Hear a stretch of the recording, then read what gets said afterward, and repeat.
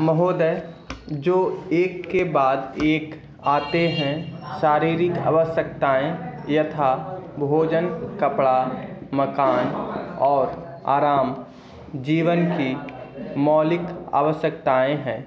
दूसरे स्तर पर आती हैं सुरक्षा और भविष्य के प्रति निश्चिंतता।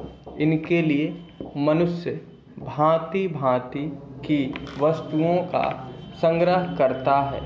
फिर है सामाजिक आवश्यकताएँ, जैसे अपने परिवार के भीतर और फिर बाहर के दूसरे लोगों से अच्छे संबंध बनाए रखने के लिए सामाजिक, आर्थिक, राजनैतिक और मनोरंजनात्मक संगठन बनाना चौथे स्तर पर हैं। अहम संबंधी आवश्यकताएँ, जैसे आत्मसम्मान, आत्मविश्वास और आत्मतुष्टि आदि। आत्म परितोष अर्थात उन्नति, विकास और ख्याति प्राप्ति की क्षमताओं को साकार करना, व्यक्ति की अंतिम और उच्चतम अपेक्षाएँ हैं। इन आवश्यकताओं की पूर्ति के लिए मनुष्य अपने आसपास उपलब्ध पर्यावरण का दोहन करता है। जल, थल, वायु ही नहीं, पेड़, पौधों, पशु, पक्षी जीव जंतुओं तक का उपयोग करता है। सभी व्यक्ति शक्तियों का यहाँ तक कि सबल व्यक्ति अपने से निर्बल व्यक्तियों तक का दोहन करता है, जो शोषण की सीमा तक पहुँच जाता है। इसके लिए भांति भांति की तकनीकें खोजी और अपनाई जाती है। प्रौद्योगिकी ने मनुष्य को भांति भांति की आवश्यकता की वस्तुएँ अभूतपूर्व प्रचुरता से देकर संतुष्ट किया है और आवश्यकता की सीमा रेखा भी खिसकाई है। विलासिता और सजावट की ऐसी सामग्री भी दी है, जो अब बहुत कुछ आवश्यकताओं में गिनी जाने लगी है। स्वचल वाहन, दूरदर्शन, धुलाई मशीन सफ़ाई मशीन, सिलाई मशीन, स्टोव, चूल्हे, मिक्सी, फ्रिज आदि आदि।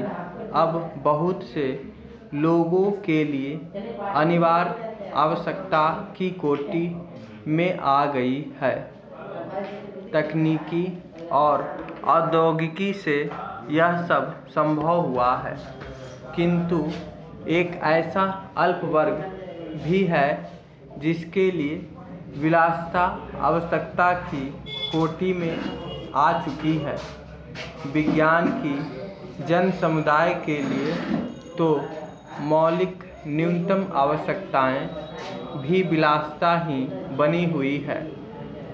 औद्योगिकरण के सहारे मनुष्य ने जितना भी विकास किया है, उसे वह उन्नति कहकर संतोष करने लगता है और अपनी द्वैत प्रकृति के कारण यह ध्यान नहीं देता कि इस विकास से वर्ग भेद पनपा है।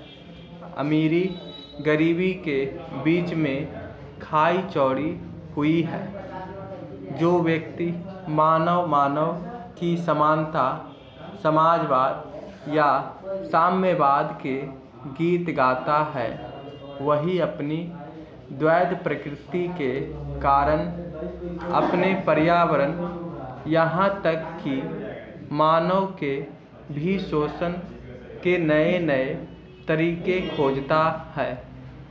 यह शोषण बलात्कार की सीमा तक पहुँच गया है। मनुष्य ने अपनी बुद्धि का प्रयोग किया।